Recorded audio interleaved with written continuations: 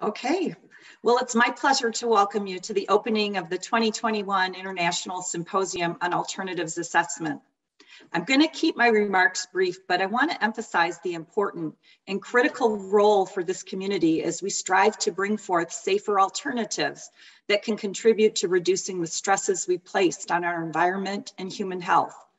No greater evidence is before us than the impacts of climate change with its extreme weather patterns from droughts and wildfires to superstorms and flooding.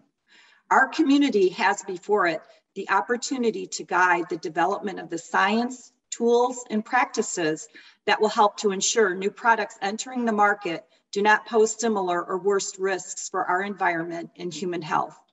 Our program committee has done an outstanding job preparing an agenda around the theme, accelerating safer and sustainable alternatives. The symposium is designed to highlight critical challenges and needs to move us towards a more effective implementation of alternatives assessment. In that spirit, we are pleased to have the partnership and the support of the Society of Toxicology Risk Assessment Specialty section for the symposium opening session, where we will hear from esteemed champions of the science. I also want to thank our sponsors, whose generosity has helped to make this symposium possible. We are grateful for their support and we couldn't do it without them. I'd like to now turn it over to Dr. Lauren Heine, co-chair of the A4 Program Committee for her remarks. Thank you, Pam. Welcome, everybody. You're in for a real treat this week.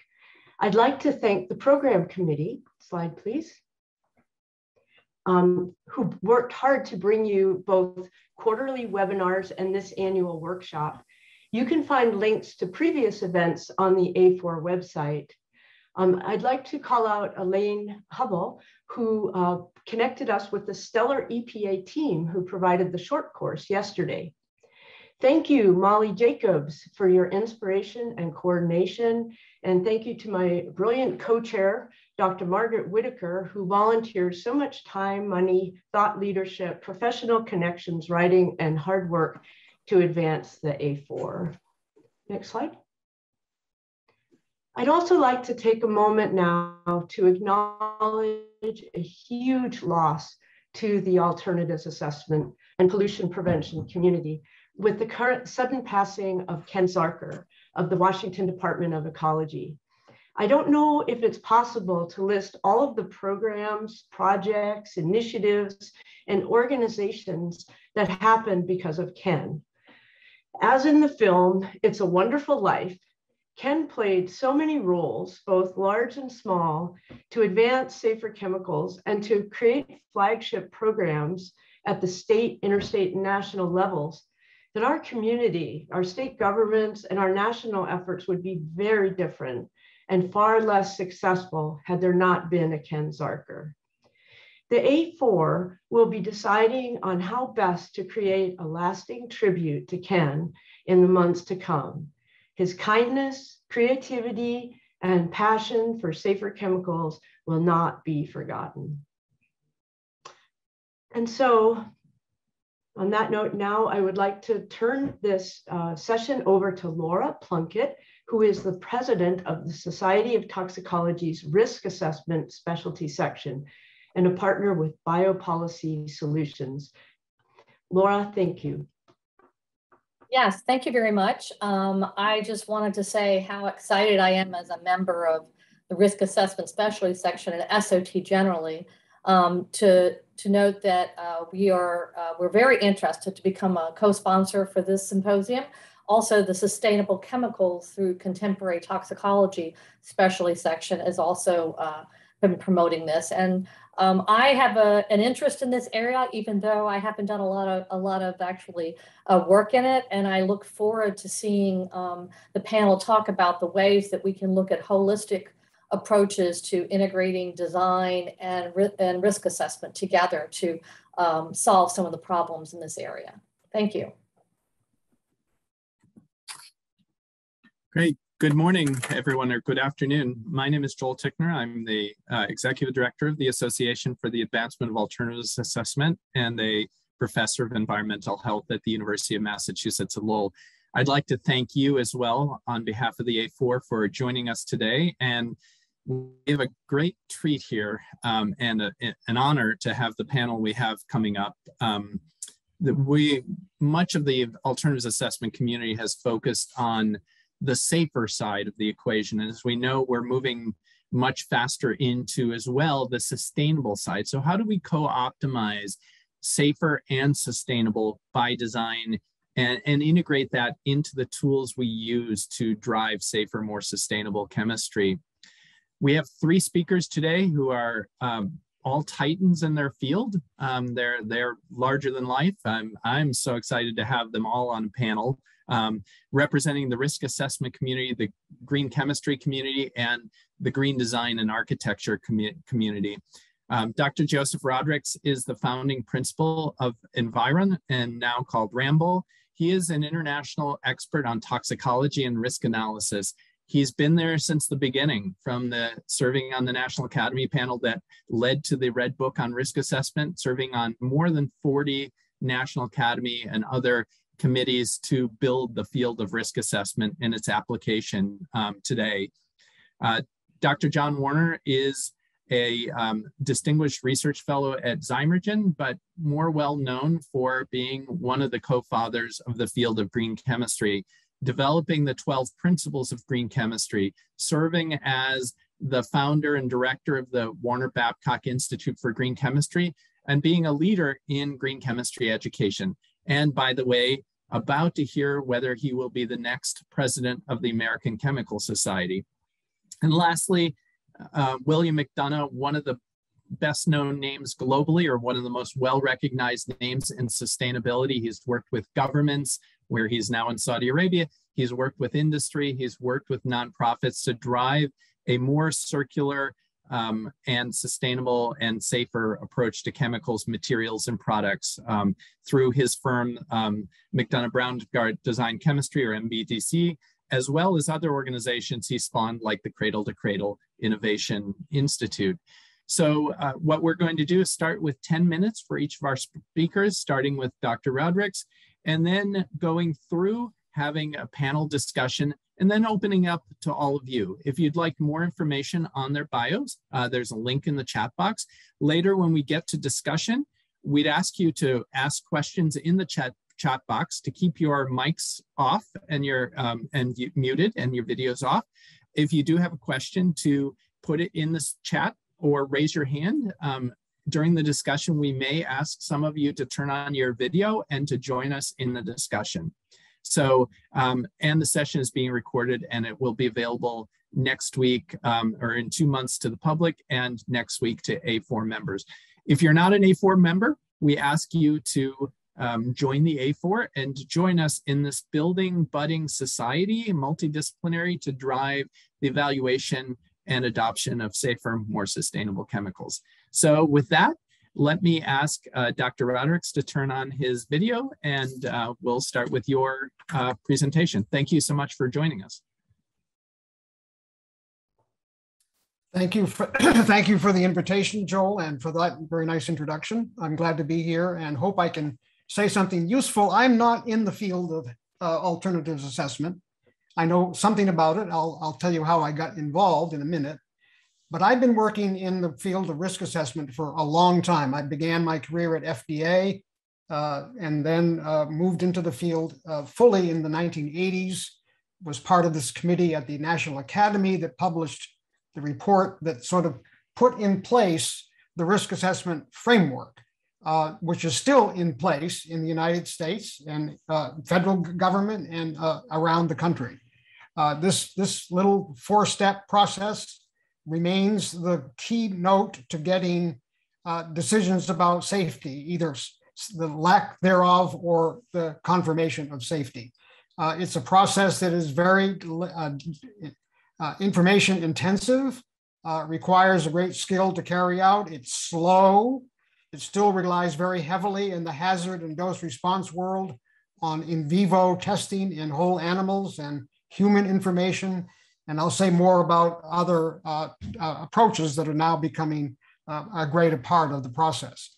Uh, the, it's, it's, it's carried out in sort of two different contexts. There, it's carried out in the cases in which there is a requirement under law for pre-market approval of substances.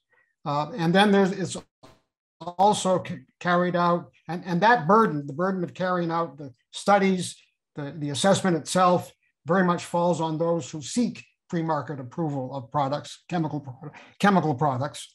And then it's also looked for chemicals that are already out there in commerce, in the environment, in which case the burden of carrying out the studies, uh, carrying out the risk assessment generally falls on the government uh, to show whether there's a risk or not.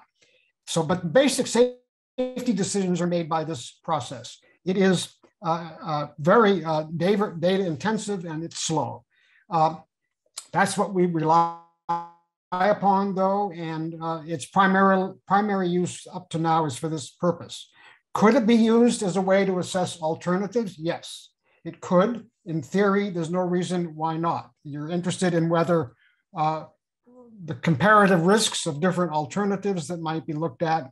Uh, but getting there uh, requires much more data than we typically have if you're going to apply this risk assessment framework in every case. Um, ideally, you would, if you had two alternatives to look at, you would want to see comparable databases on hazard and dose response, even exposure. But the likelihood of that happening is very, very small uh, in any particular case. So other approaches are needed. Let me go to the next slide. I'll talk about something uh, where I learned a bit about this process. Uh, this, this is a framework that I'm, I'm, sure is familiar to everyone here. Uh, uh, it's a massive report from the National Academies in 2014. Uh, it's focused entirely on chemical alternatives. I got to know this because I was asked by the Academy to oversee the peer review process of this report. It, it was a very, very intensive peer review process. Um, uh, more members in that did peer review than, than there were committee members, actually. Uh, it's a 12-step process to identifying and selecting alternatives, 12 steps. Then there's the final step, which is implementation. And the safer question comes up at step seven. The, the answer to that question comes up under this framework at step seven in the process. There are many steps after that that get into issues of performance and things of that nature. Um, the evaluations leading to step seven are based on, a, I say, adoption of the risk assessment framework. Now, I have to be careful here because the committee does not call it a risk assessment process. Uh, it's different uh, in, in that it's up there to compare uh, risks of different uh, different alternatives. So it's not, but it does borrow from that risk assessment framework I just showed you to look at hazard and exposure as, as a component of the evaluation of safety. Um, it is the have does it does differ from the framework, or at least it tries to streamline the framework by heavy reliance on novel approaches to identification of hazards what have come to be called now in my world new approach methodology NAMS, all kinds of interesting systems to get quicker answers uh, on, on chemical toxicity, uh, more, maybe even more reliable, more predictive answers on chemical toxicity. And uh, most, and actually the whole, the whole process was inspired by the need to drop, uh, uh, to, to drop the load that animals bear in the testing process to rely upon methods that do not require harming animals. So this is making much headway. Uh, that's where the new framework really has to, uh, that's where the new, the new framework here laid out in this process uh, has a heavy emphasis on this and your field, your field of alternatives is gonna depend very much on this, the development and validation of these new approach methodologies. Um, I will also say this is not the only framework, as you all know, and I don't even know if it's the best one. I do know that it, it is very comprehensive. If you try to go through it, it is highly detailed. I've never seen a National Academy report so comprehensive, so detailed, and giving guidance.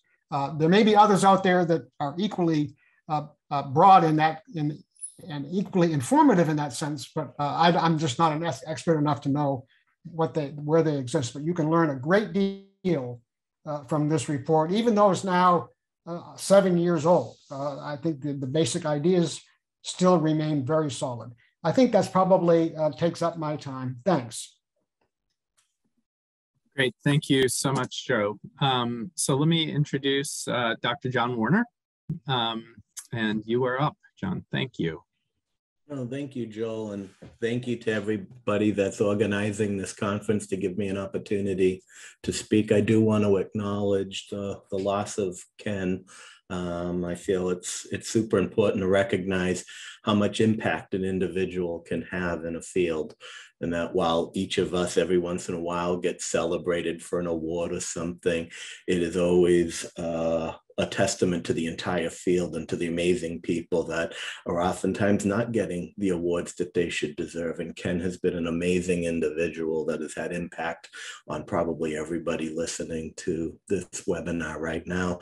And it's a reminder of just how precious life is and that when we, you know, we, we talk about saving the world, whatever that means, we also have a responsibility to make the world worth saving. And that's how we treat one another and how we interact with each other. And so I just think it's important to remember how important individuals and people are as human beings in our community. And I will deeply miss Ken. Um, so there's that. Um, you open up the newspaper, you turn on the radio, you look on the internet, and you hear about this red dye that causes cancer. You hear about a plasticizer that causes birth defects. You hear about a material that is accumulating in the oceans or a process that is creating global climate change. You say to yourself, why in the world would anybody create one of these technologies? Why would anyone want to do that. And our assumption has to be nobody wants to do it, right? And that it is an unfortunate consequence of the way that we invent technologies today. So if we accept the fact that it's not intentional, then we've got to say, okay, then why why does it happen? You know, there is no law in science that says that red dyes must cause cancer. Someone invented one that does. There is no law that says molecules that plasticize materials must cause birth defects. Someone invented one that does. And so on and so forth, that there is a discontinuity to the intended purpose of a molecule and the negative impacts are disassociated at some fundamental level. So again, I ask, then why do we do this? And if anyone's heard me talk for the last 25, 30 years, you'll hear that as chemists and material scientists who go to universities around the world to learn our craft, we take a whole lot of classes, we do a lot of research, we publish papers in a lot of high impact factor journals, and an 85% of chemists end up getting jobs in industry and material scientists. Now, once they get into industry and they're asked to go invent the next red dye, go invent the next plasticizer, while they can call on their education to associate what makes a molecule red, what makes a molecule stick in a paint, what makes a molecule not fade, sadly, most universities, most academic programs training chemists and material scientists don't have any training on how to anticipate potential negative impacts on human health and the environment of molecular structure. So when we say, let's invent better alternatives, are we giving the people who invent things the skills to enable them to do that? And Paul Anastas and I, back in the 1990s, recognized that this is that unmet science that is necessary for the field of chemistry and material science. And that is the skills to be able to anticipate these negative impacts on human health and the environment. And that's what we call green chemistry. Right. And it's interesting that in a way, the role of green chemistry is to exhaust people doing alternative assessment by giving them so many alternatives to assess. Right now, I would argue the problem we have is when you do an alternative assessment, more often than not, you come up empty. And you say, well, there isn't any better alternative. And so green chemistry is the mechanism to learn from the alternative assessment where those, those unmet needs are and to address them. And so we still have an issue. There's, there's a lot in our investment community that talk about performance of a product, cost of a product, and then those sustainability issues. And I feel we are at a nascent evolution in, in our in time right now, in which we are slowly acknowledging that people, consumers, customers, retailers, brand names, when they ask for sustainability, it no longer belongs in the sustainability bucket, but actually it belongs in the performance bucket. If the consumer, if the customer is asking for it, it is an unmet need that we need to address. But again, we go back to do we train the future chemists, the, the future uh, inventors, the right skill set? And while the nonprofit Beyond Benign, led by Dr. Amy Cannon, is doing amazing work, there are nearly 100 universities that have signed the green chemistry commitment to bring into the curriculum the, the, the principles of green chemistry. There are thousands of universities out there that still need to jump on board. So green chemistry is not about the desire or the need to have these alternatives it is about the skills to deliver it. Now, use as an analogy, I have a nine year old daughter, Natalie. My daughter, Natalie, like all fathers look at their daughters and sons, is amazing and brilliant and beautiful and makes me want to cry when I think about it. But she is so articulate at nine years old. She can carry on a conversation with you better than me. You know, she can read. She can write. She has accomplished a great deal at nine years old. But because of COVID and the way schools have been, interestingly enough, she is just now learning about nouns and verbs and adjectives and adverbs and parts of speech. Now you might say to yourself, well, wait a minute why do we even bother learning about nouns and verbs? I can speak perfectly well, I can read and write and have no idea what a noun is, what a verb is. Isn't that just a waste of time to get into the nitty gritty uh, if, if she's already reading and writing and speaking? Well, I would argue that sadly, right now, she's getting by by mimicking people in her environment. She's getting by quite well by adapting to her environment. But when she learns the parts of speech, when she learns the nouns and the verbs and the structure of thought, not only will she be able to communicate better with people outside of her world, but she'll be able to formulate her own thoughts and become that much more uh, accelerated in the things that she can do. And it's a beautiful process. I tell this story because I would argue that the chemical sciences much like my nine year old daughter.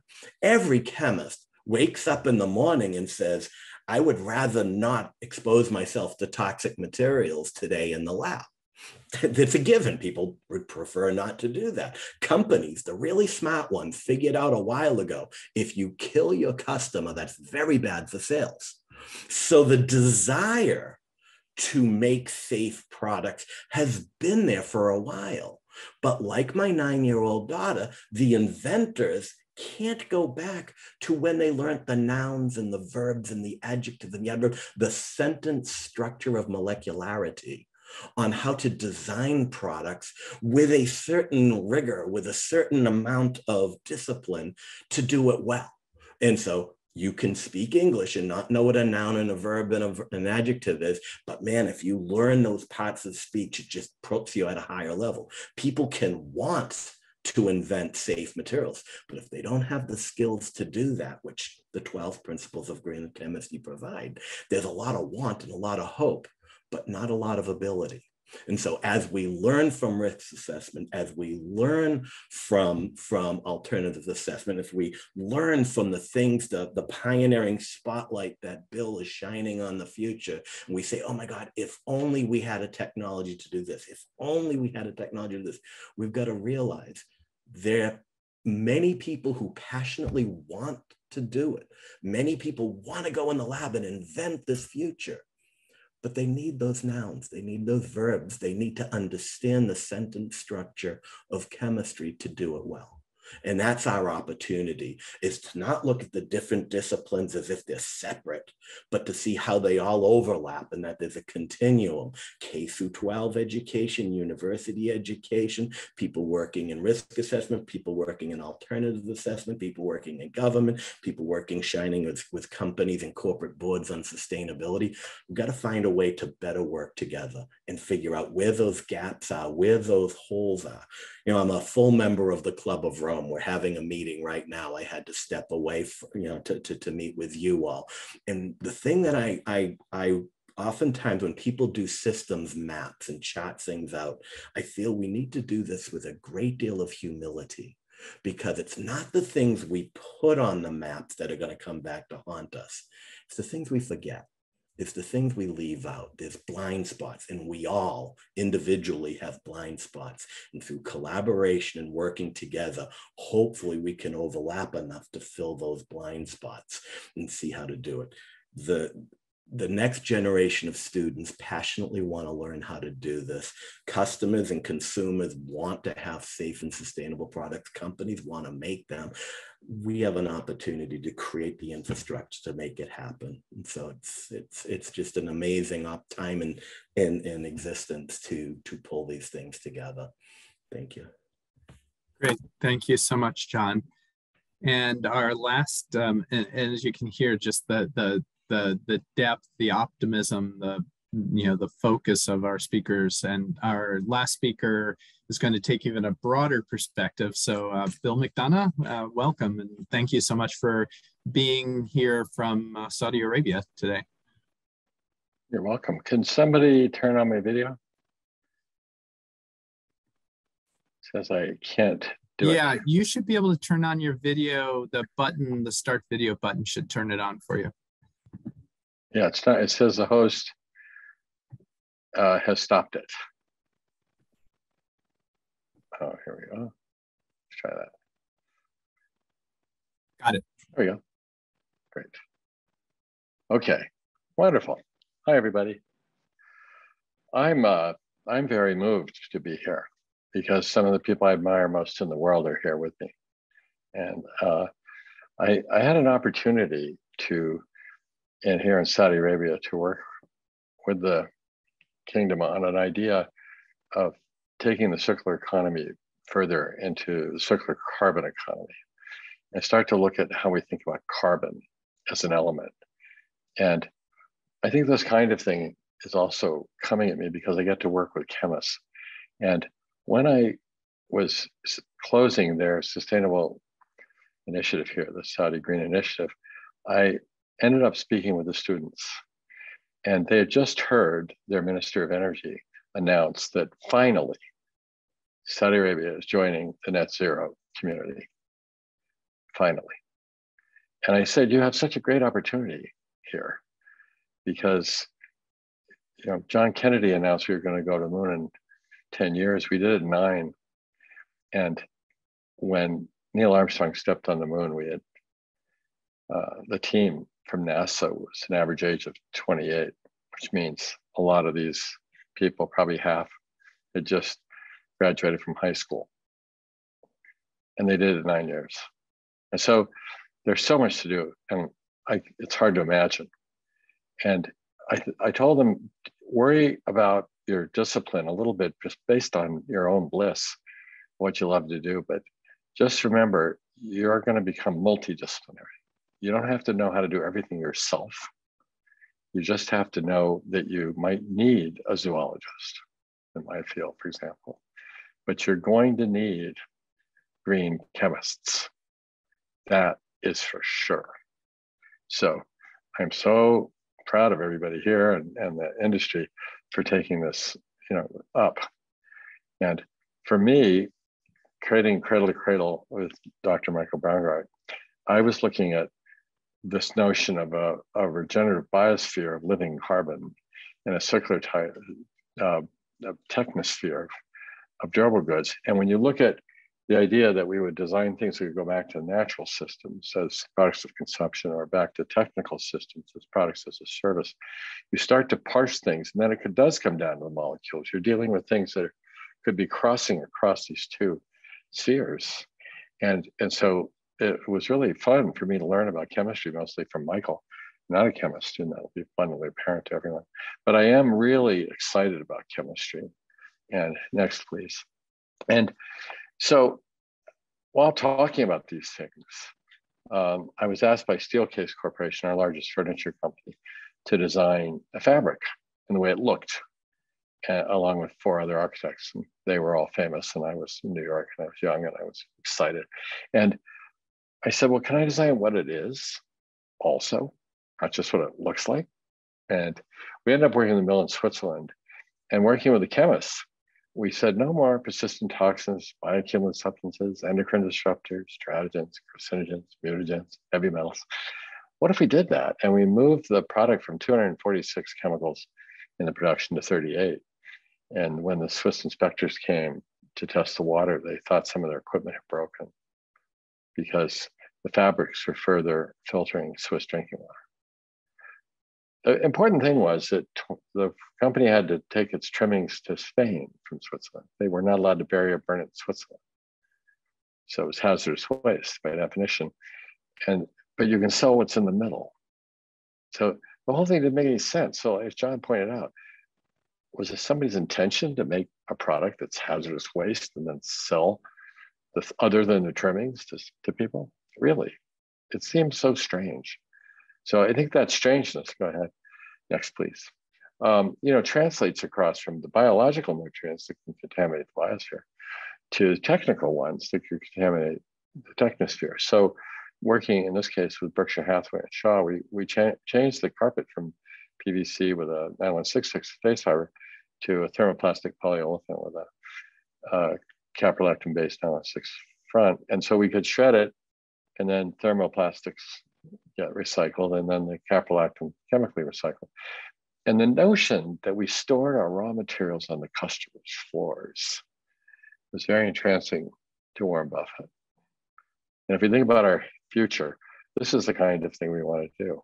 But at the same time we're doing this, we're also worrying about the chemistry because there's a fundamental question. I was asked to design carpets that were beautiful. Well, how can something be beautiful if it destroys children's health or the environment. I'm a designer. So I started looking hard at that. I started designing buildings like trees and worrying about children and what they were chewing on because they were eating the buildings. Uh, next, please. And so taking that protocol of biological and technical, we developed a, a five part way of looking at the products and and in a certification. It was internal, it was private. And we looked at material health first because of the question of how can you make something that destroys children's health and environment. Then the circular economy was second. And and I am, you know, I was the chair of the circular economy for the World Economic Forum and, and I've done a lot with that for many years since the 90s in China. But this was about material utilization and continuous assets. But remember, things have to be safe and healthy first. Because when I hear a lot of the new circular economy people running around saying, oh, I'm circular, therefore I'm good. But what if your product was toxic in the first place? And now you're recirculating it. You're actually worse. So circular is about quantification, not qualification. So what you do with these assessments is material health assessments is really key. And it's the first order of design, is how it works in the natural world. So I'm here in, in Saudi because I want to see clean energy and restorative carbon balances and get that carbon out of the atmosphere. So we got a lot to do and it's moving. Well, for we need clean water for every child every day. It's a human right. And social fairness is critical because we have to share the abundance of the world in a way that's uh, propitious for everyone. So those became the five categories of cradle to cradle certification. We did it internally for our clients. Next. And uh, after a while, we realized a lot of people were taking it up in various ways or trying to copy it or, or proposing all kinds of things that we found uh, uh, concerning and, and not enough depth. And we found ourselves getting a, a picture from one of our clients when somebody asked them, why are you using cradle to cradle certification? they sent them this drawing and said, well, there are a lot of certifications, but most of them are single attribute. And this in sustainability, actually, we, we have to measure lots of different things and we have to do a lot of different kinds of products. So this is a broad-based way of looking at things. And so we rely on many other certifications and reviews and standards and so on. But it's a holistic view of product and system. Uh, and that really mattered. Next. So we look at different things. These are all alternative assessments of various things. And then I uh, I launched the the uh, LEED program as a courtesy to the US Green Building Council, which I was part of funding at the University of Virginia. And uh, so very interested in finally getting a material health point instead of just recycled content points. So when we did that and they adopted the idea of material health, it was really exciting uh, to see that Cradle Health Certified became one that got two points instead of one point. And it was fun to build on the various things and, you know, like like the green screen, things working with Lauren Heine, uh, who worked with us for, for years. And then we look at these other things that are more simple, that are basic, either hazard lists or just simply saying, I don't have something, which I always found strange as a certification. It made me wonder if we shouldn't start a certification called plutonium free or something. Uh, but whatever. So, but it was fun to see that this could be taken up at this level of intensity. And we uh, harmonized all the different programs together working with Google and other people to make sure we could all share this strategy. Next, please. So what I found also in my work with my clients, I work with CEOs, I work with heads of state, I work with um, lots of companies and lots of people and NGOs and small organizations, is that every time I work with the sustainable development goals, I find that these five characteristics of the Cradle to Cradle certification and they're all they all have their own assessment methodologies uh, are predicate actually to all 17 so your material health and your green chemistry assessments are a predicate to every single one of the 17 sustainable goals so we work with our clients who are doing that and give them these protocols as the starting point next and there are assessment, hundreds of assessments thousands of alternative assessments in those charts. So here's what I'm doing here, and I just wanted you to see it. It's a build on our circular economy strategy in biological technical cycles, which has been adopted by people like the Ellen MacArthur Foundation, the Chinese. I mean, we're, we're really, I'm very proud of that. We published Cradle Cradle in China in 2005 as the design of the circular economy. So when you look at this, you realize the main thing I wanted to look at here in this picture is we have our regenerative biosphere, living carbon, we have our circular technosphere, durable carbon, but we've also got our, our fugitive carbon. And that's a problem. And so carbon is not the enemy. It's an innocent element. It's a source of life. So we've turned it into a toxin. We did that. And the question was, as John points out, was that our intention? Probably not. But as we look at it, carbon dioxide in the atmosphere is by definition a toxin. Right? You know, it's the wrong material, the wrong place, the wrong dose, the wrong duration. And we put it there. It wasn't carbon's fault. We did it. So what we're saying here is instead of allowing carbon to come from the geosphere and go straight to the atmosphere, which it is, and overloading it, we have to stop that. I'm not kidding. We have to stop that. We have to stop thinking of it as a material and a fuel. We have to go to renewables massively uh, we have to reduce the carbon in the atmosphere massively. We have to reduce our emissions probably about 60% by 2030. We have to immediately begin to remove carbon emissions from point sources. all the coal-fired plants that are still around should have their chimneys uh, with, with carbon capture at the very least for now as we move away from the coal. We're working on geothermal systems. In China, we have 350 sites where we take out the coal plants and put in geothermal to run district heating systems with the same capex.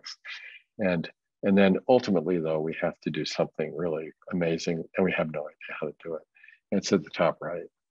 It's we have to remove carbon uh, with technology to meet these goals. That's the dimensions. So this is all these design strategies here all came from working with chemists. So I honor the chemists because I can't be a chemist. I'm not one. I'm not a scientist, but I know I need them.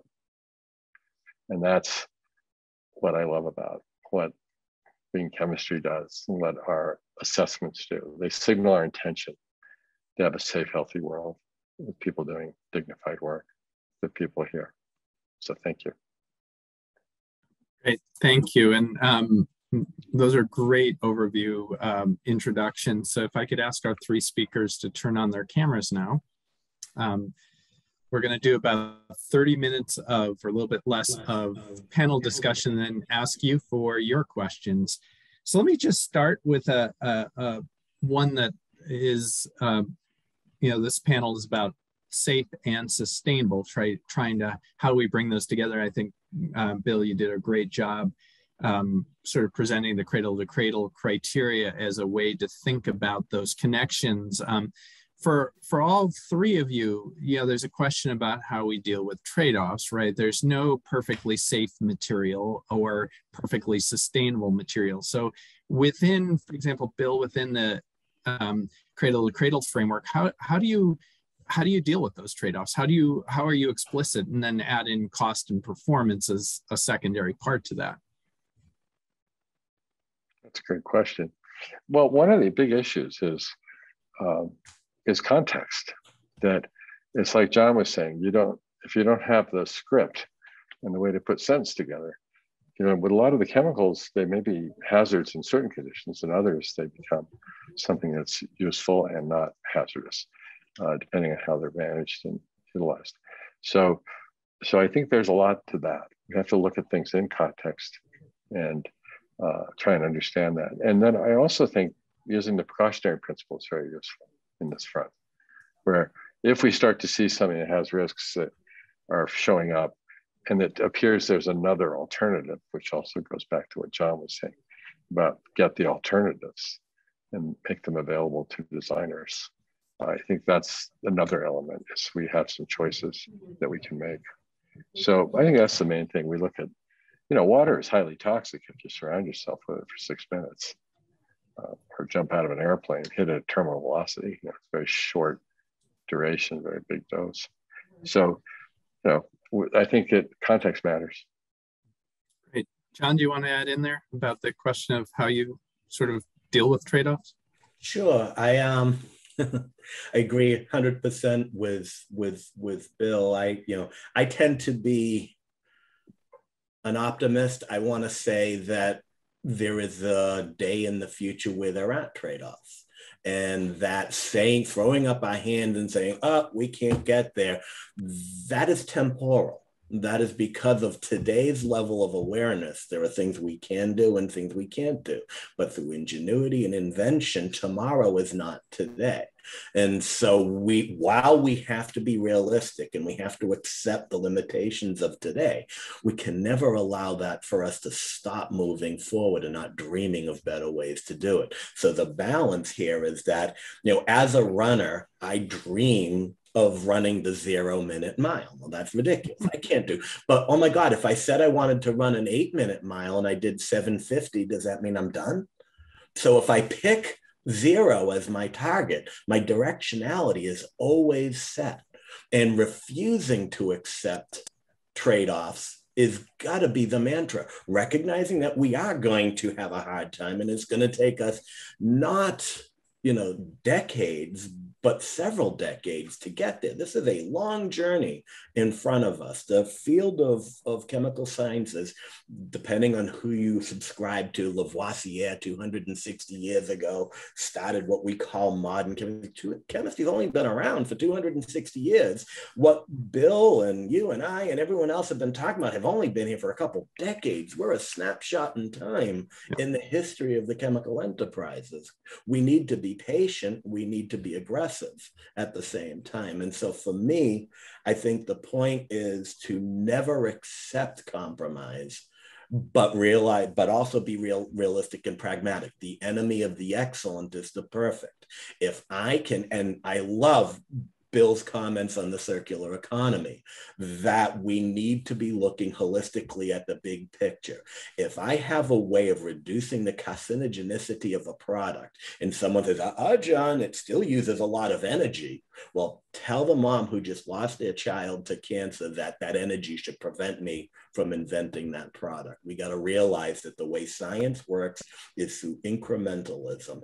I invent one thing, someone else invents something, someone says, oh, I could put that together and do that. But if we put our hands over our mouths and wait for perfection, it can never, ever happen. We need to build from each other as a community, and therefore we need to celebrate every little success.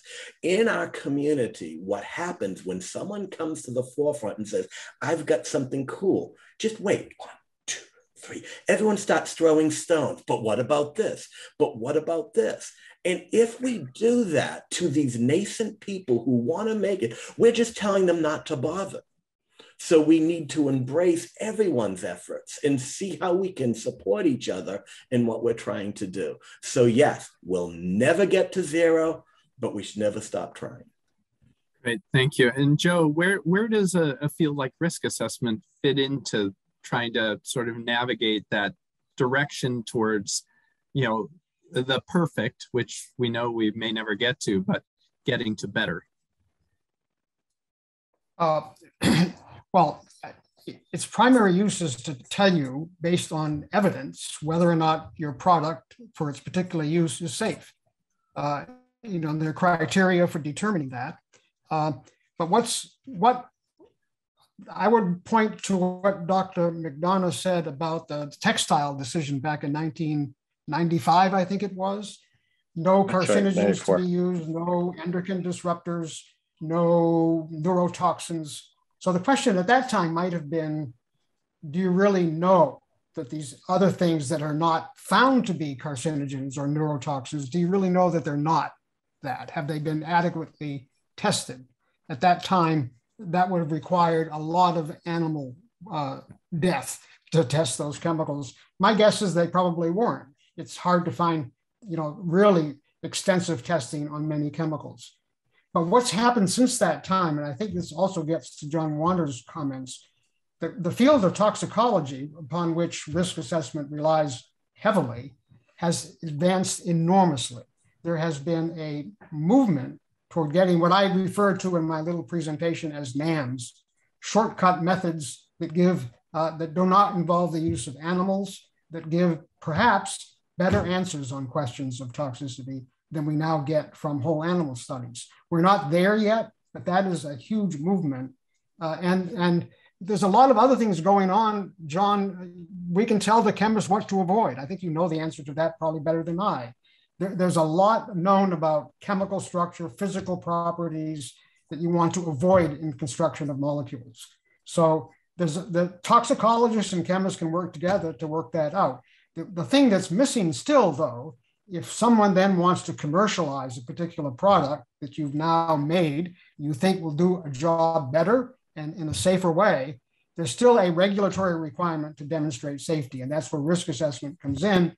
And I hate to say it now, but even now it's pretty data intensive. It takes a lot of resource to get to a good decision about the absence of significant risk in today's regulatory world. That is changing, but it's not real fast. It's changing to rely, as I said, more on these quicker, uh, maybe even more informative methods. Uh, but we're not really quite there yet uh, to make full use of them.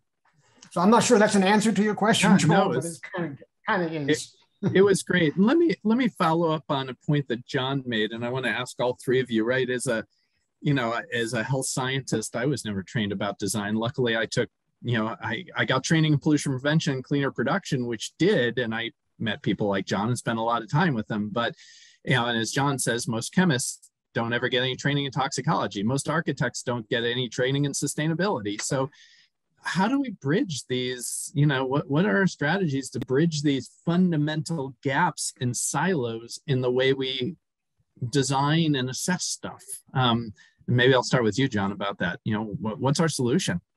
Well, again, my you know, my view for what it's worth is that every training program for chemists and material scientists should require some content on how to communicate with the toxicology community not to become junior toxicologists, but to be able to have the right language, the right semantics, so that when a chemist is or a material scientist is working at a company designing the next product, at the very moment they start that process, they're anticipating the impacts on human health and the environment. Now, from a corporate perspective, there's all kinds of, of um, you know, morality here, but it's also just smart business sense because when we get to the hurdles of, of regulatory,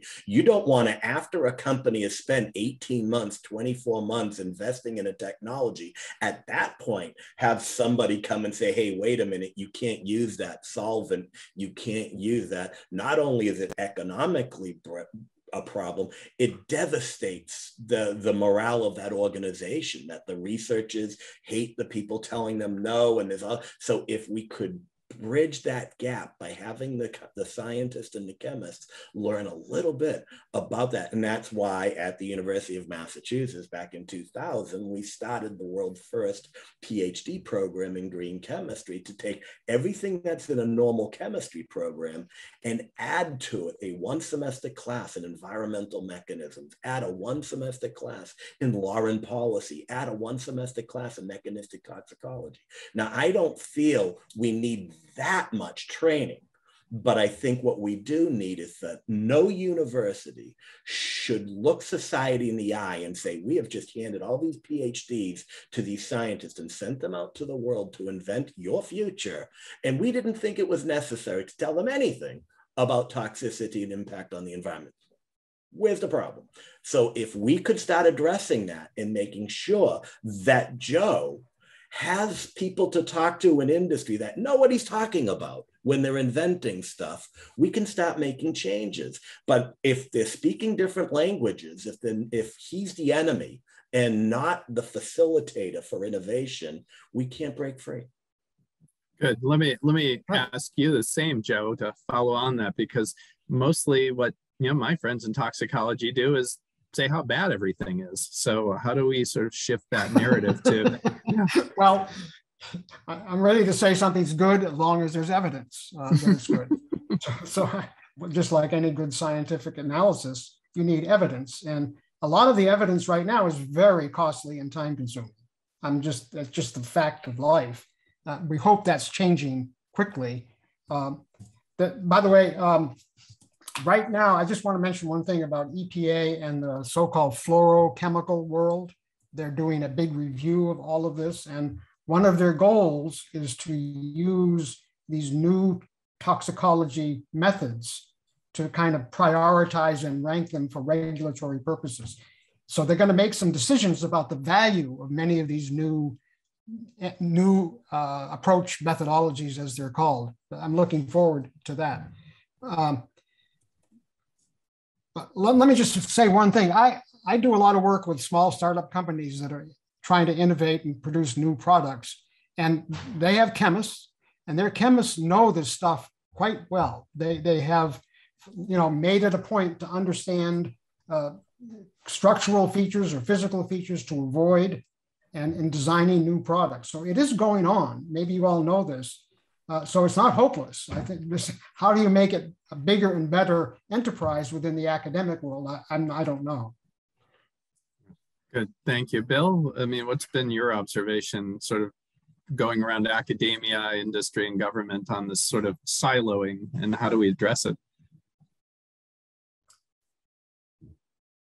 Well, I think there are the there are the quote academic elements to this, which it, which involve theory and and involve um, evidence and research and things that are critical.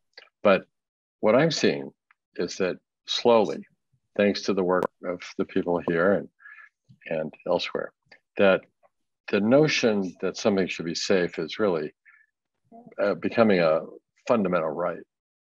And so that gets it into the whole thing about society and what, what are we doing here? You know, if you're violating someone's rights to be a healthy person, you know, and then you come back to John's point, which I work with with design all the time, which is the design is the first signal of human intention. So if you're intending to poison somebody, the rhetorical device I use is make people say it. I intend, you know, to put billions of pounds of highly toxic material in the air every year and pollute rivers, and I intend to do this. You know, really, is that your intention? Because that's what's going on.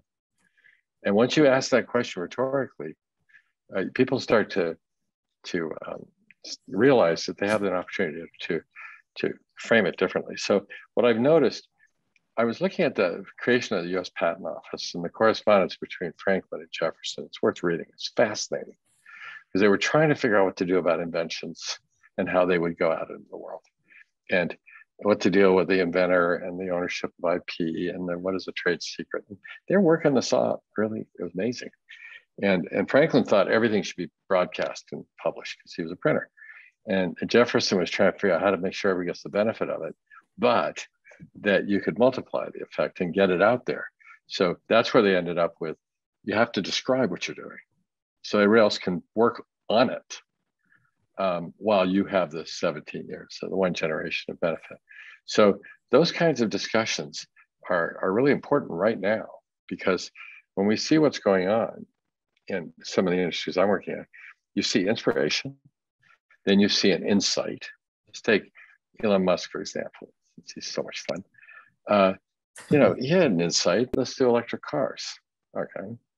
Right. Plus houses and the rest of it, or go to space. I mean, there's a lot going on there. But that was his insight. We need electric cars. For most of us, that would be an insight we can have. But what do we do about it? So the next question becomes intention. His intention is to make electric car. But it's actually not to make electric car. When he was asked when he launched the Model S, well, when did you decide to make the world's best electric car? He said, I never decided to make the world's best electric car. I decided to make the world's best car. And it turned out it's electric. but I also decided to make the world's safest car. I also decided to make the world's most powerful car. I also decided to make a car that could go so fast I could call it ludicrous. You know, I mean, like what? And basically, took an iPad and built a car around it, where the car people are all trying to put microprocessors and all these various systems in a car. He started with a with a microprocessor, and everything spoke the same language. So his insights were quite phenomenal as he went into implementation. But he also looked at circularity, material flows, and chemistry. So it was, it was pretty amazing. Now, when you do that, you end up creating and executing, and you create kind of a standard. That's the nice thing about Cradle Cradle for us. It was a standard, but it was voluntary. It was just people trying their best. Nobody forced us to do it. Nobody said we had to. It wasn't a legal requirement. It's just a thing. And those standards then become policy at some point. And that's why Elon gave up his patents on all the charging systems. It was obvious because now it could become the standard because everybody can use it and build on it. So every time you drive a Tesla somewhere and get charged, oh yes, what a good idea. So sharing all this stuff is really what we have to do, as John was saying earlier too. And that's what I see in education, is that we share and we share what we share with dignity and grace. And I think that's really critical. So then the policymakers can say, oh, there's a there's a policy in that standard somewhere. We can do that, you know, 25% recycled content. Then we have to get to them and say, yeah, but the recycled content is toxic. We have other issues, but whatever. But they can go to policy simply. And then we end up with regulation about 10 years later after we try and figure out all the fundamental details. So how quickly can we go through that? And how as, as you just described, how important it is that the intention starts in the right place. You know, right. and then you don't have to come back and regulate it because there's nothing harmful that we knew was there. And if there is, we'll go fix it. Yeah, I mean, the challenge is then how do you start with that intention and address the incumbency of the existing materials that are out there? I mean, thoughts on you know what are what are our biggest barriers right um, to achieving this vision because you know bill john you you've presented a big vision that is you know as john says it, it's incremental but how do we deal with all of the incumbent technologies processes materials and And what's it going to take to tip that scale? You want to start, John, and then we'll go to uh, Bill on that. Yeah. Well, it's it's it's in, it's interesting. One of the things we've got to realize is that there are some contradictions, and these contradictions sometimes get in our way. And I, will always come back to the enemy of the excellent is the perfect. You know, one contradiction is we want to prove that something is safe. Well, technically, you can't ever prove something is safe because by definition, something that is safe is absent of harm.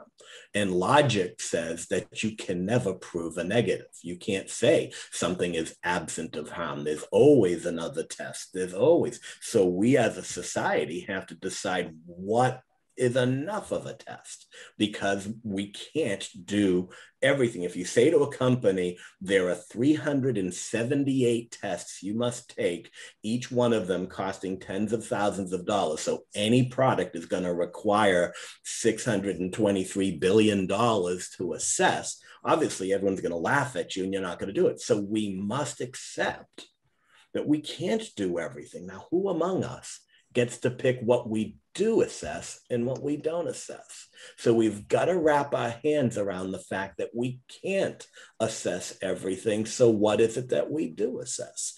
And the second contradiction is that we say industry should prove that their products are safe. It shouldn't be government's job to assess this. It, but everyone in this community, if a company reports the results of their test, they say, oh, yeah, well, you paid for it. How can we trust it? So, okay, if we're saying that a company should do the testing, but then we say, well, gee whiz, if the company did the, the testing, it must be biased. So this is where things like cradle to cradle come into play. This type of having absolute articulate ways of assessing things, and then you essentially audit those processes, it can move us in the future. But at the end of the day, if you got 10 people in this room, if we broke everyone up into 10, 10 groups, and we said to each group, what are the top five endpoints that we should assess? We won't get the same answer. If after we agree on the uh, endpoints, we say, what tests should we use to assess those endpoints? We won't get the same answers. So we need to come together as a community and find a way to collectively do this. There's some work going on in OECD. There's a lot of work going on in REACH. There's some work going on in TSCA. There's a lot of little pockets of it, but there isn't a unified approach and we need to and so that's the path forward that we need to come up with. And unfortunately everyone's going to find something to get excited about in this unified approach but everyone's going to be mad about something because we can't have everything or because if we have everything we get nothing because infinity is not attainable so how do we as a community decide what we what how to prioritize? Oh my God, that is not me. I would not want to play God and make these decisions. So how do we do this? Great. Thanks. Yeah. Bill, do you want to comment on the sort of what do we need to do to make this happen? One of the things I've found is language. Uh, we have to get accurate language you know, Joe pointed out, we have to have, you know, science at work here. We also need language at work. So one of the strange things that I see in my work is so many people talking about end of life. And I understand life cycle assessment. I understand the protocols. I understand its science. I understand its source to disposition. I understand that. But when everybody keeps talking about end of life, they end up talking about in the circular economy, when something meets its end of, reaches its end of life, these are typically inanimate objects. And we're putting this human projection on them. And it's not a living thing. And so most of that stuff is really a product as a service, we call it. It's something you want the utility, right? But you don't need to own the molecules. You want the use. You want to wash clothes, not own rubber, aluminum, steel, whatever. So if the companies can continuously own the materials, they actually have to be able to keep it on their books. They can actually depreciate stock and they got their raw materials available to them and you get the clean clothes. Now, then you start to think about all those materials. What are they? And how would you really want to hold on to them? Are they the right ones? And you can make them quite precisely and delightfully if you're going to reuse them. So we don't say end of life in our design work. We say end of use.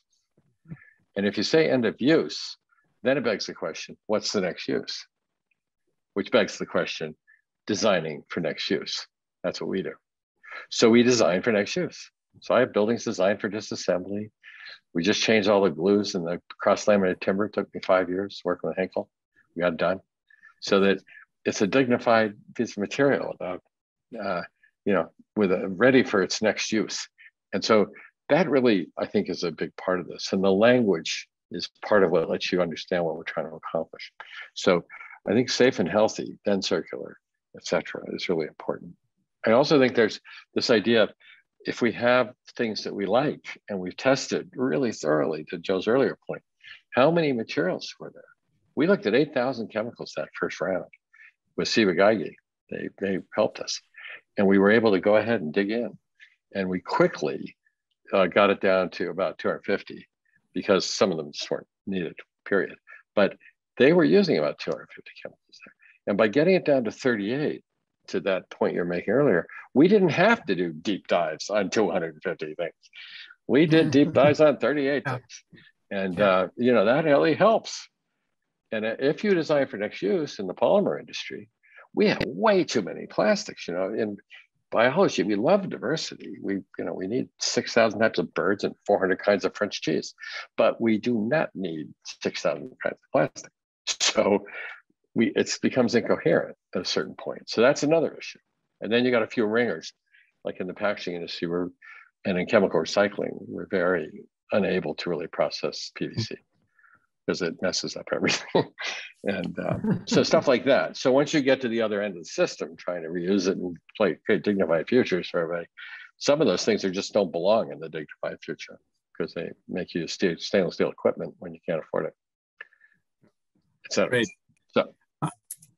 Joe, I'm going to ask you a last question, and we're going to take questions from the audience. Um, you know, you were involved in designing the the the four step framework for risk assessment, which arguably is much simpler than the 14 step alternatives assessment guidance. But um, from 1983, what can you tell us about the growth of the field of risk assessment that can inform a nascent field like alternatives assessment, which is multidisciplinary, um, global and and and growing as a field right? It's it's really you know we're we're only three years out from a national academy report and trying to find our way as a field that can help guide the design adoption assessment of better alternatives. Yeah so let me uh I'll try to answer that question fully, but uh, one point I would make in, in response to what John said, I don't think the safety system the system for defining safety is quite so bleak as you described, John. The, you know, there is a lot of guidance on how one goes about making decisions about safety based on uh, what kind and the kinds of evidence needed to you to make those decisions. Guidance from the National Academy of Sciences, put into place by agencies like EPA or OSHA or FDA as well. Uh, it, you can disagree with many components of it, but there is a system it's not, it's not uh, just sort of random.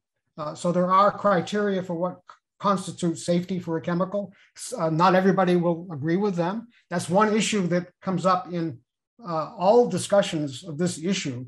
There is scientific disagreement and that has to be dealt with. Not everybody agree, agrees that endocrine disruptors are, are necessarily bad at the exposures uh, we ordinarily encounter. So guidance, I trust a lot in guidance from the National Academy. Those committees are quite well informed. I don't know what, I don't think we can do better than that.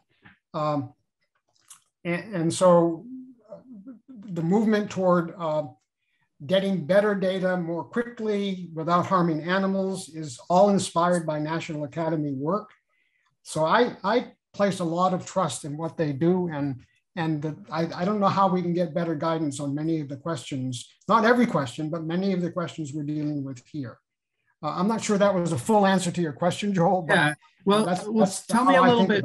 Yeah, tell me a little bit more about the history of risk assessment and how it's you know it's it's it's the way we assess for the most part chemical risks, right? So yeah, it started. It started with carcinogen. You know, so the my first involvement with uh, alternatives, when I was at FDA, I was involved in the review of a ton of information that had come in on the, the artificial sweetener saccharin in the 70s and showing it to be a bladder carcinogen in rats.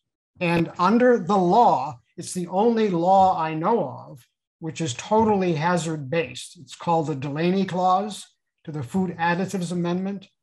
Um, it came in in the 1950s. And it said if a substance is a carcinogen, it cannot be added to food in any amount. Uh, that's an absolute ban on such a material. But saccharin was highly desired by many people. And so there was a lot of controversy about that decision at FDA. Um, there were a lot of controversies evolving at that time in the 70s about carcinogens in general. No safe level was the mantra. There was no, no, you could not tolerate any exposure, but there were, the regulators knew lots of unavoidable exposures in the environment, not readily avoidable. Uh, chemicals had, you know, moved out into the, into the environment in major ways that you just couldn't, you couldn't just ban them. So that called for some kind of approach to looking at risk and hoping you could at least force levels down to levels of risk that are very low. Uh, you may not call those safe, but that's where it arose. And that approach to risk assessment developed by the regulatory agencies was the subject of a review by the National Academy that resulted in the Red Book uh, that said we, you know, this we need to involve a risk-based process Many of our laws require it. And so that's how there's a long history of this uh, that culminated in that report in 83. That report, by the way, is pretty narrow in scope. It doesn't carry, doesn't cover a lot of the questions you guys have raised here today, but it focuses entirely on how do we say something about risk and how do we distinguish that risk assessment process from decisions about what to do about it. Uh, and then it's grown from then. There, are, there are another 20 Academy reports all focused on improvements in the risk assessment process. Only one on the alternatives question that I know of, the one that I, I mentioned in my little presentation. So it, it's a it's a complicated, but it's a very rich history. It's still evolving. Great. Thank you, Joe. John, let me let me ask you about sort of your lessons from the history of uh, green chemistry. How do you grow a field? You know, what what what does it take? And then I'm going to ask you a second question that came from the audience, which is, how do we think about persistence? Is persistence sort of the thing we want to avoid on its own uh, when we think about a chemical? And you know, how do you think about that at the design phase? So two questions there. Well, actually, we could combine them and, and say, how do we grow a field persistently? But uh, but um, growing a field, you know, again, I tip my hat to the work that you have done in your team and the Green Chemistry and Commerce Council, the work that Amy Cannon is doing and Beyond Benign. And so the field is growing.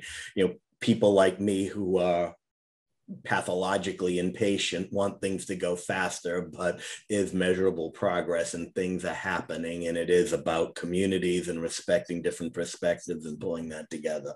So, so I, I'm more see myself, you know, astounded by the work people are doing growing this field. As far as persistence is concerned, I actually, in, interestingly enough, I'm going to answer it from a different perspective. We live in a massively polarized world now.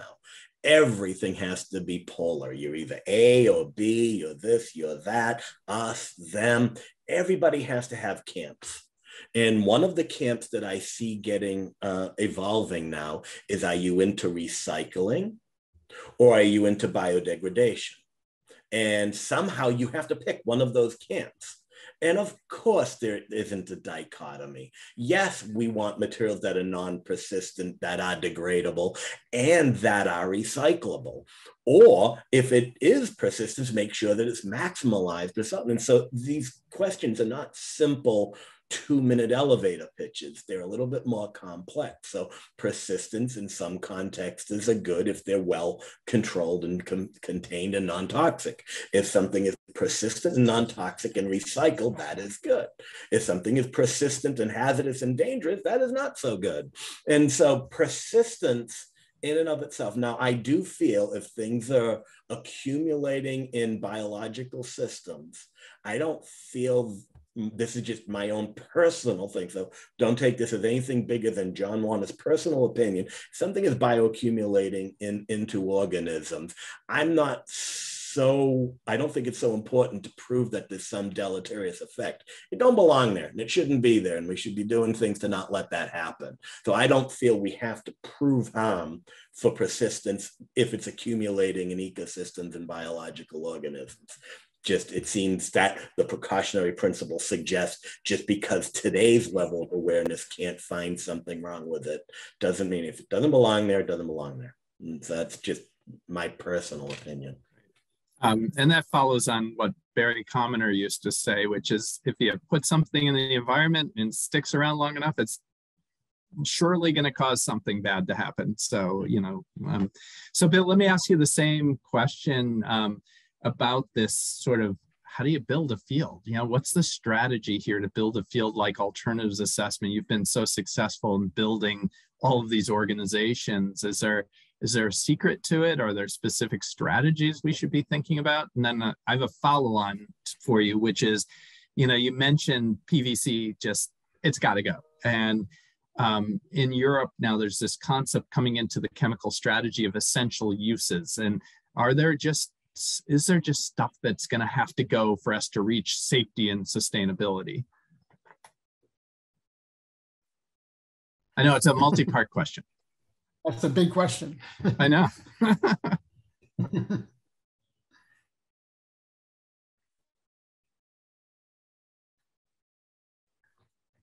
He's on mute. I think Bill's on mute. Yeah, you're muted, Bill. You got to hit that unmute button. This there is really go. embarrassing. Okay. Oh, don't worry. Yeah. It's we're a year into COVID and everyone does it still. So don't worry. yeah. But um, I think the getting everybody involved does involve uh, kind of opportunity for joy.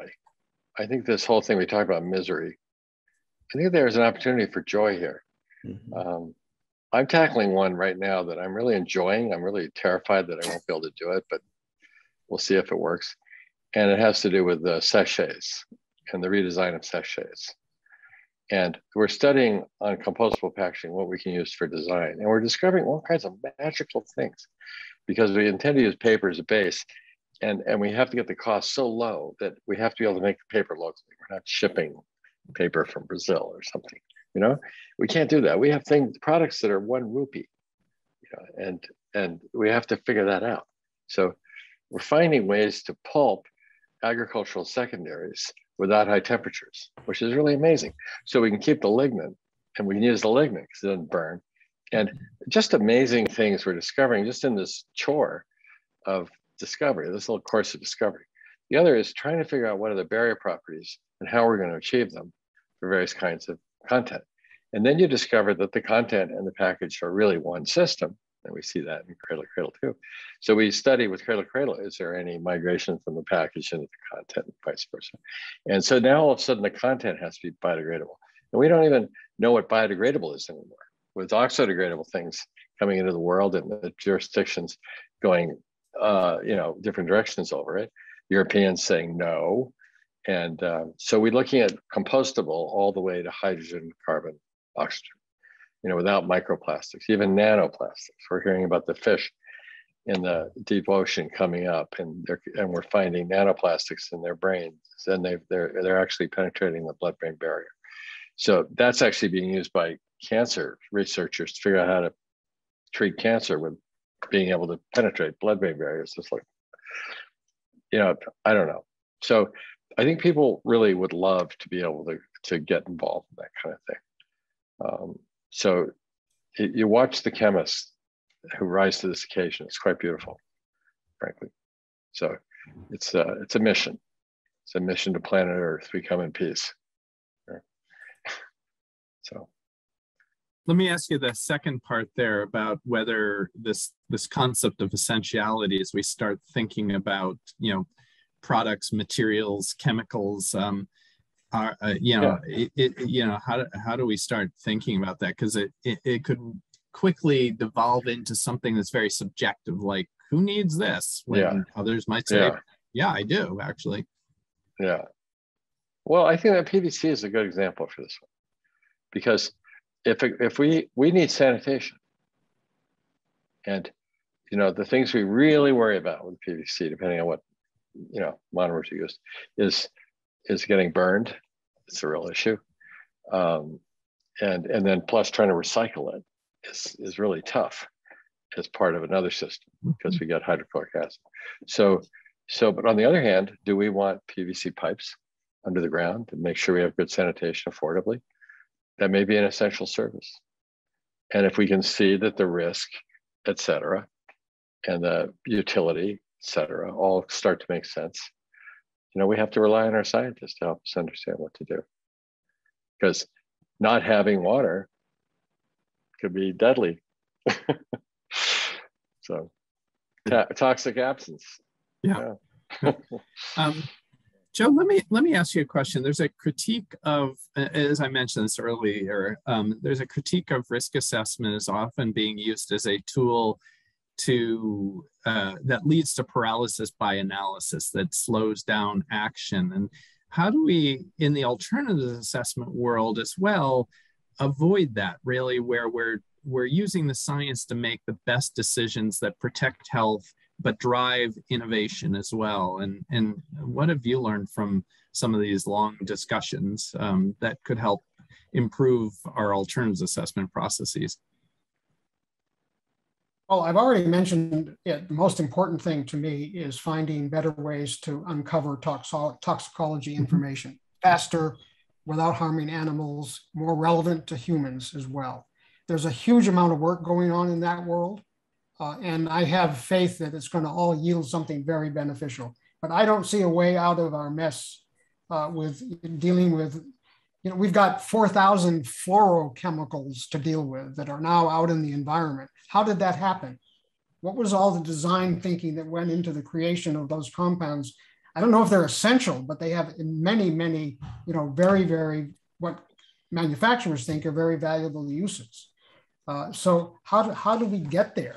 Uh, there must be some lessons in that. Everyone knew that the, fluor, the carbon fluorine bond is the strongest bond in all of organic chemistry. Why did, why did chemists devote so much time to making heavily fluorinated compounds? They had great important uses, but now we've got a quite a mess to deal with. So anyway, I, my faith is in uh, science and improving our methods I, I don't see another way to get information that is very, very badly needed without having these sort of sort of very short-term tests that are validated in some way uh, for purposes of determining ultimate determinations about safety. Uh, we may be another 10 years away from that, but I think that is the goal. I don't see another way to it. Great, thank you so much, Joe. So we're going we're reaching the end of our time. I'm going to give each of you just a, a minute to wrap up based on the conversation you've heard today. You know, where are where are our greatest opportunities moving forward as a community of practitioners, academics, um, you know, regulators we have on this call, you know, to really move this idea of um, safe and sustainable chemistry and materials forward. So I'll start with you, John. Well, again, I am filled with optimism. I think that, you know, we're, we're in a tough spot because when we talk about the problems, it gets pretty depressing. And it's, you know, but the getting rid of those problems should be seen as being profoundly optimistic. Um, and as Bill has pointed out, the next generation just gets this and understands this uh, and wants passionately to to play a role in this. So I I I feel that we spend a lot of time believing that the case must be made. We need to explain to people. And I think we need to start saying, okay, let's just assume the case is made and get on with doing stuff um, because if we if it's almost as if it works against us. If we say the case has to be made then that suggests that maybe we shouldn't be doing it. And so my my final closing thought is that it's now 2021 soon to be 2022 there are going to be people who are never going to come around. There are people that are going to be resistant to this. But there are way more people that want to be part of this journey, that want to do this. And if we're focusing on the people that are saying no and not helping people who are saying yes, we're looking in the wrong direction. And so let's roll up our sleeves and with a great deal of optimism, put our arms around the people that want to make this all happen and let's just do it. Great. Thank you so much, John. Bill? I'll build on that. I think we found seven kinds of people we deal with in our work. The first are called total enthusiasts. They're usually younger, just the kind of people John's talking about. They're all excited. They go, wow, look what you do. Look, I want to do that. I want to do better. Than, you know, we just want to do that. Great, 100%. That's my new career. Um, those are ones. Twos are people who go, I love what I'm doing and I like to do it this way. That's really exciting. I'm on board. Let's go. Threes are people who go, ooh, this looks like a better quality way to work. I think I'd like to do that, you know, and I don't think it's going to disrupt my job. Fours are people who go, well, I'll do whatever they want, you know, and I just assume keep my job. And if they want me to do it like this, I'll do it like this. And I'm not unhappy because it's better. Then you got fives who are people say, I just wait until I can retire and, and get my pension.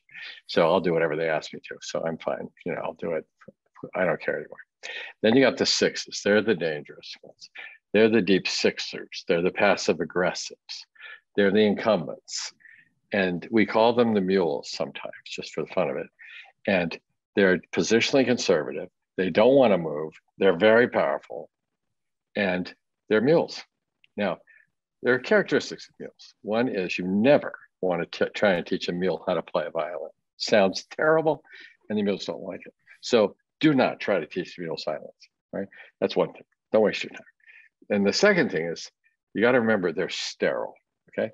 They can't reproduce. So, so you've either got to come up with a way to move them, you know, and that could either be a stick and usually a big one, or what I like to do is create carrots big enough to use as sticks, you know, whap them over the head with opportunity. And then that works a lot.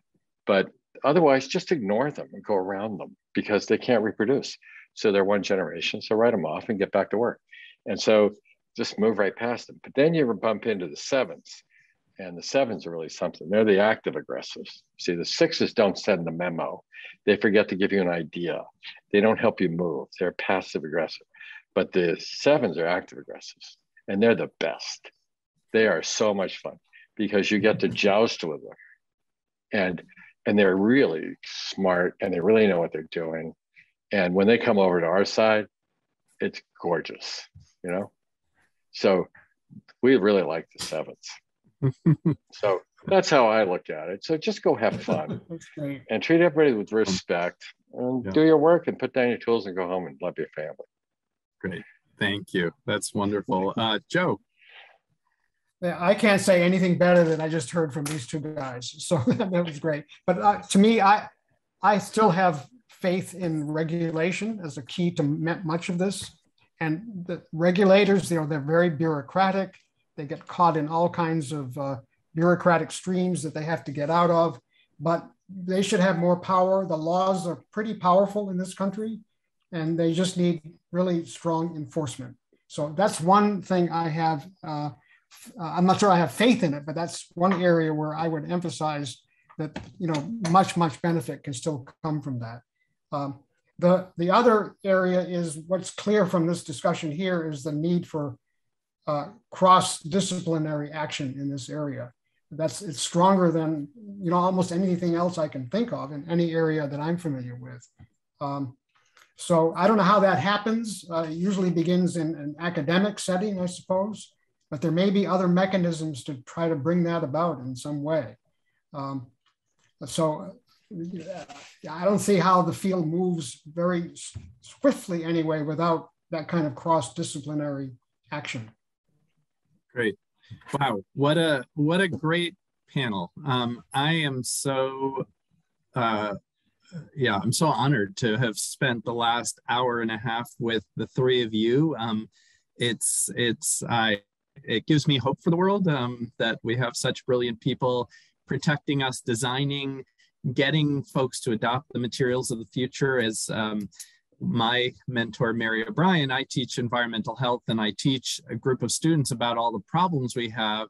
And I said, well, it doesn't do anything to just focus on problems, right? That just gets people locked up. We need to focus on solutions. And as my mentor, Mary O'Brien, once said, it, following what Bill said, is if we figured out how to put people on the moon in nine years, we can figure out how to make materials, chemicals, and materials, and products that don't harm our health. And I think that's right. And as Bill sort of ended, right, this should be fun. As um, one of uh, my old friends, John O'Connor, an environmental activist, said, uh, "The fun is in the fight," and this is a, a fight for you know the future and um, we look forward to working with all of you and doing that so um, thank you again um, best of luck john warner on your acs presidency we hope that we hear good news in five minutes um, so uh, we are going to ask everyone to um, uh, drop off now. We will be coming back in uh, uh, half an hour for the next panel. Um, we have a 30 minute break to go grab lunch, dinner, breakfast, and look forward to joining you for more in-depth presentations about this nexus between safe and sustainable alternatives. And again, thank you all for joining. Really enjoyed the presentation. So thank you, John, Joe, and Bill for spending an hour and a half with us. So. Thank you, Joel. Thank you all. Thanks. Bye, everybody. Bye-bye. Bye.